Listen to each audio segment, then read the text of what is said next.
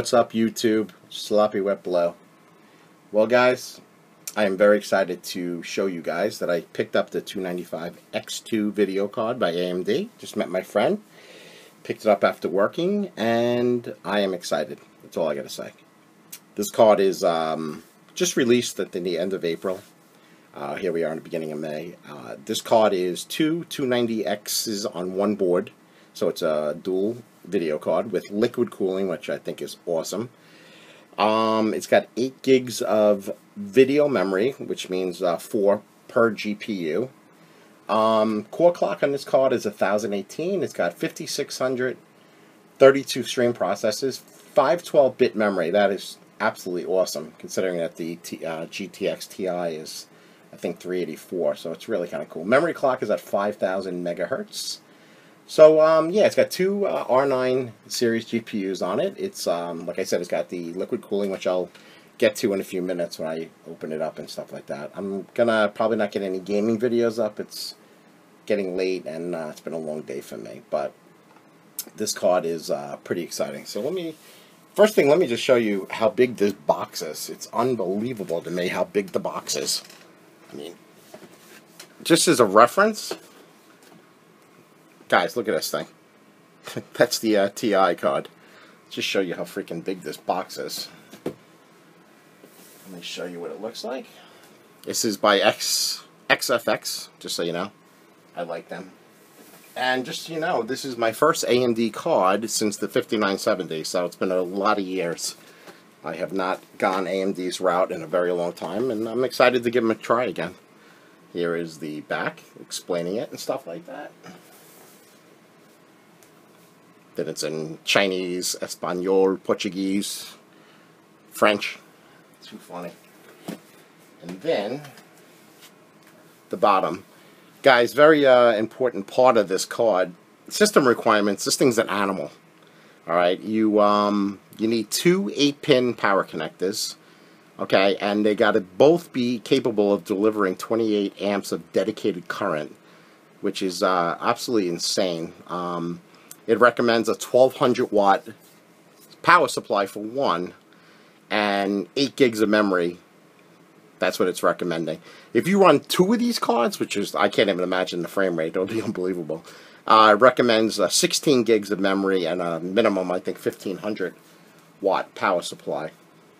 Um, I'm going to open it up in a minute. I don't know if I showed you the back. I think I did. Yeah, did I show you the back? So I'm going to open it up and we will take a look inside. Alright guys, I just opened the box up. Show you what it looks like. You got styrofoam covering it.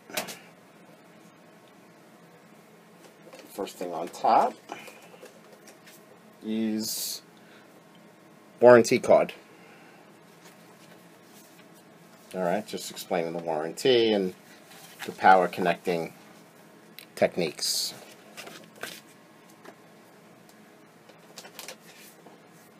Second, you get your limited warranty by XFX, and obviously how to contact them. Uh, please note the following special consideration when using an appropriate power supply unit when you're AMD. Again, this is um, this card is no joke on its power requirements. So make sure you have proper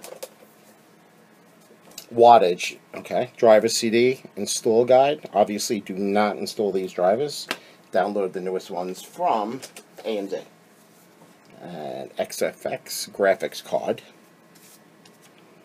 Okay, so we'll see you get with it. All right. Here's an adapter and connector thing. Other great XFX products. Um, this thing has four mini display ports. So um, I think you get one dongle with it. So you can go uh, mini display port to HDMI, which I'll be doing to my monitor. But uh, they're just explaining themselves. And the other things that the company offers, XFX. Alright. Let's see what else goodies we get.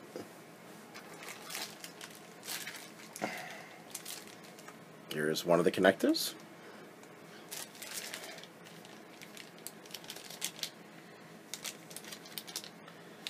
And here is another connector. This, just want to show you it.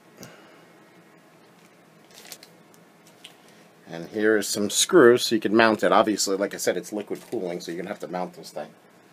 All right, got the red fan, double wide.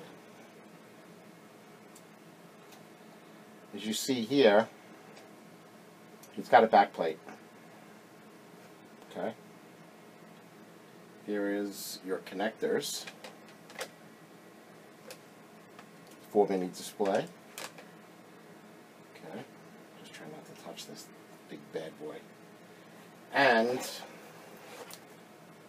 there is the radiator to the liquid cooling. Okay.